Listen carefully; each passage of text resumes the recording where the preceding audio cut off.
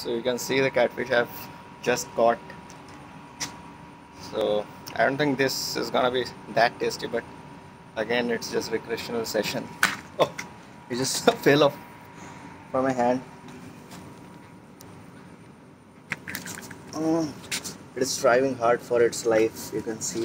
It has got a very uh, dangerous dorsal fin. You need to very very cautious about it. So I'm just see the way I'm holding it from the tail. I'm holding it from the tail so that it's not uh, able to sting it through its dol dorsal fin to my skin. You can see